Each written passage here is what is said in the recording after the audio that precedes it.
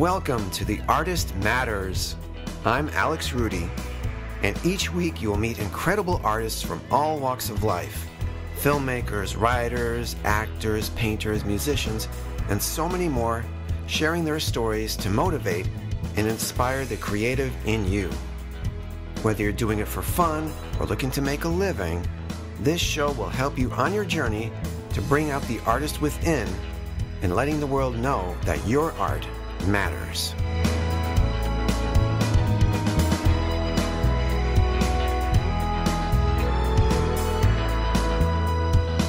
Hi, everybody. It's Alex, and the artist matters. It is the second week of September. Thanks for coming back and listening to the show. It was a little stressful because the hurricane was coming, and I wasn't sure if I'd be able to uh, record any new episodes, but thankfully, Dorian did not hit this part of Florida at all. I'm praying for the people that it did hit in the Bahamas and some of uh, the Carolinas. So hopefully that's it for the hurricane season. Anyway, don't want to deal with that anymore. It's not fun. Oddly enough, as uh, Dorian was approaching the, the weekend before, I went to my first networking event since I've created the podcast. It was in Tampa. It was at the uh, Straz Center where they do lots of plays and shows. And they were having a theater festival. And I got to meet a lot of people who run theaters that have unique themes and different types of varieties. It was great. I got to hand out a lot of cards, met a lot of great people, and you will be seeing some as guests in the future. Can't wait for you to hear their stories. It was really nice to be there.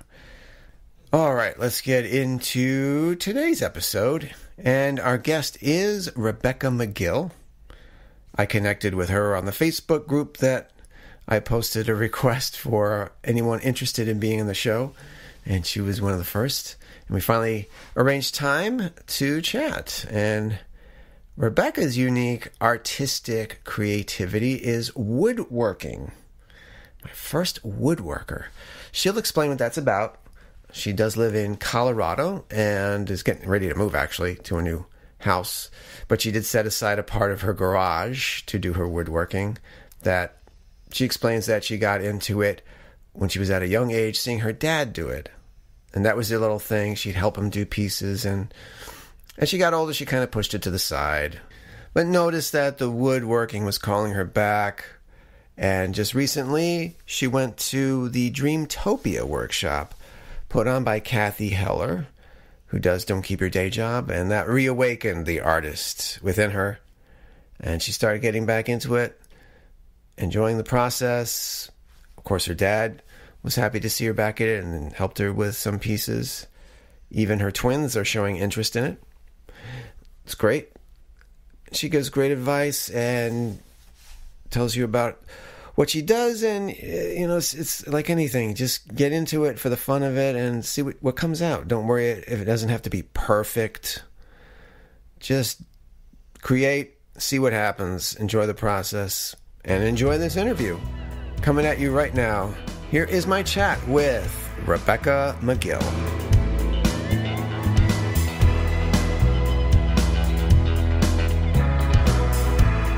Welcome to the show, Rebekah McGill.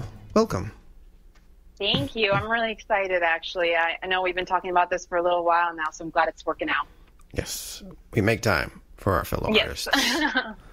All right, let's get into this. So, um, what were your earliest creative memories? Was it woodworking or was it something else? I would say probably a combination. As far as like my actual creativity coming out, I think that originally was more in a drawing and painting sense mm-hmm. that I first kind of um, saw that. And for a long time, I thought that was my creative outlet. Uh, but woodworking has been a part of my history since I was little. I have very fond memories of helping my dad build decks and do projects around the house. So that was less creative because I was following his lead. Um, but it was still something I really enjoyed. And I don't think I realized how much I enjoyed it until finding it again later in life. So dad did woodworking. Was this his employment? Was it something he did on the side?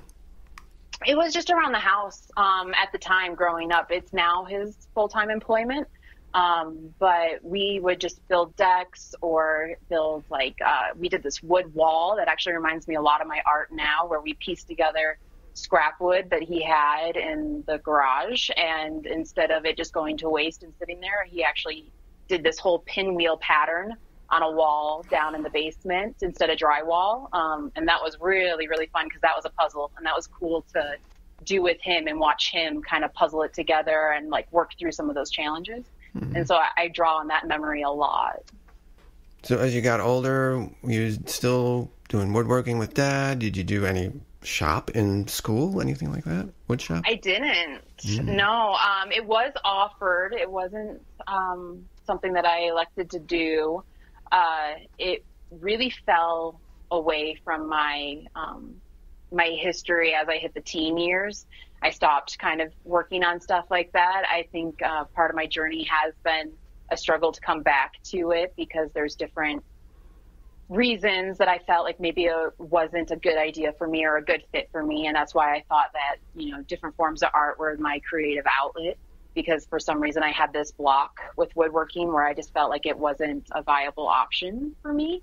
Hmm. Um, and that some of that is just like the gender stereotypes that kind of surround woodworking that I'm really thankful are starting to melt away a little bit more. Um, and there's more room opening up for women in this industry. Um, and I really want to be a pioneer to show that it's something that we can all do.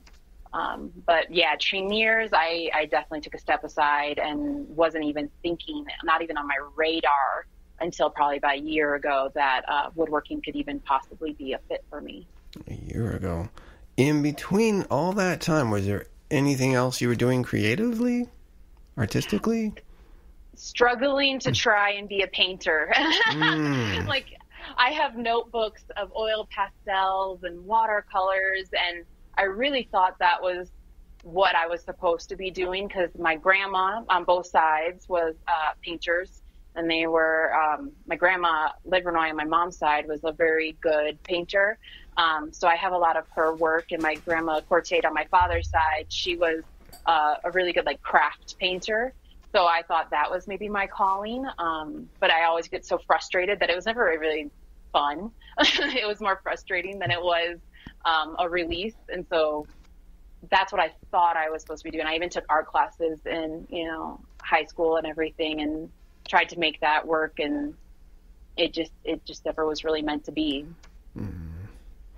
Why do you think so many artists put their art to the side and then come back to it? Is it just life getting in the way sometimes? It's a variety of things. Um, I, obviously, it's going to be case by case, probably a little different. Um, I do think that there's a little bit of uh, a rawness when you're actually sharing your art. And I'm surprised at how raw it feels sharing my own woodworking. It feels like a medium that wouldn't lend a lot of vulnerability because you're not painting something that's going to be like really deep and intimate to how you feel.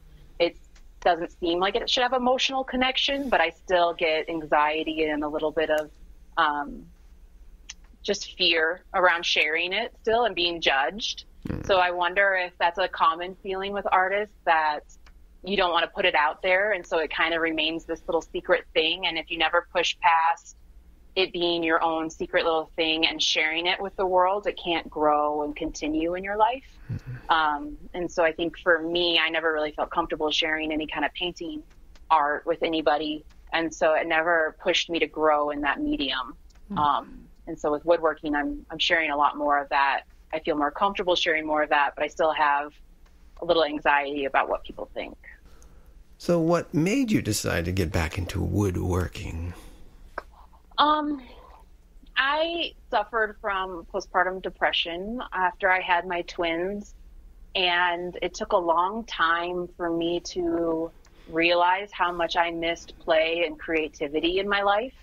Uh, with encouragement from podcasts like Cathy Heller's and from my therapist, uh, there was a huge push in understanding that I needed to find a creative, playful outlet. And uh, woodworking came about because it seemed to be a pattern that every time my parents came to visit, I live in Colorado, they live in Michigan. Mm. Uh, I'd end up working on a woodworking project with my dad. So the first time we did a big project, it was we built our deck. And then the next time he came out, I had a couple ideas of what I wanted to work on. And I thought if he could help me get started, I could probably take it on from there. And so I proposed that maybe he help me with what became my first piece of art. Um, and we built that together over the course of the, the week about that they were here. And so it was a lot of encouragement and support and guidance from family. Um, it seemed to be the, the woodworking kept popping up even in therapy sessions where my therapist would be like, I really think you need to give it a try. It mm-hmm. seems like a story keeps circling back to woodworking and there's something there. Um, so when I was at Dreamtopia with Cathy Heller back this winter, through that whole seminar, I finally had this breakthrough that I didn't have to be a perfect woodworking artist. I just needed to try and to either put it to rest as not a viable option for me or see where it could take me. And that kind of relieved the stress of my perfectionism that it didn't have to be perfect. I just needed to try it. And so that's why a few months later, when my dad came out, we, uh, we worked on my first board and it felt amazing. It was a feeling I had missed of just losing yourself into something and not knowing what time it was and coming out the other side just really proud of what you created. Um, and I just knew instantly it was it was what was missing and it it was a serious um, form of therapy for myself at home even to work through some of that and experience that creativity again. It, it lit something up. What was the piece you made with your dad? Um, it's actually, I know you won't be able to see this on the podcast, but it's the one behind me. Um, oh. and it's all over my Instagram and stuff. And so it's about a two foot by four foot board where we then just interlaid different pattern of, um, kind of like a, I think it looks kind of like Scandinavian almost, uh, different colors of tones of wood and paint, um, to create this just art piece and I love it. yeah, that's awesome. Man, I wish you guys. I'm never letting it go. no, hey, hey, that's an important piece there. Yeah. Um, yeah. So you went to Dreamtopia workshop. Yeah, I did. And it awakened that thing within you. What else did you learn from the workshop that helped you with your creativity? Besides, you know, not, you know, it doesn't have to be perfect. Yeah, yeah. So I mean, I guess I just kept hearing over and over again the importance of play from like Jeff Goins talking about it, and um, actually Saul Blinkoff was the best part of that whole experience. And when he took a question from the audience, who the gentleman was kind of struggling with what medium to use, and I think that resonated with me a lot. That when Saul said, it doesn't matter what the medium is; it's just that you're creating. And I think that opened the possibility then for me to say, okay, it doesn't matter what the medium is. Even if I move away from this style of wood art and move into a different one, I just got to get the process going. So after Dreamtopia, what did this awaken within you? This desire to go back to woodworking and wooden rings? Yeah, so I think again with my struggle with um, the femininity side of like trying to introduce that into woodworking and feeling that kind of push of whatever it is, I thought that rings were going to be the outlet that I would adventure into with woodworking. Um, so when I got back from Dreamtopia, I even contacted a local woodworker and asked if I could just take some of his scrap pieces that he doesn't use because I figured he'd probably just be burning them or getting rid of them. And he was really awesome. Um, Eden Oaks here in Colorado Springs, and he gave me a whole stack of different types of hardwoods and I started playing around with that. I bought a um, scroll saw so that I could cut them out, and I think I broke at least six rings in the process of trying to make them. Mm. And I'd get so frustrated getting to the end, sanding it, and then it would just snap. Mm. And I was like, okay, this isn't working. this isn't it. Um, and then luckily, not too long after is when my dad came out and I fully embraced that, um, you know, working with a table saw and a miter saw were something that I could do.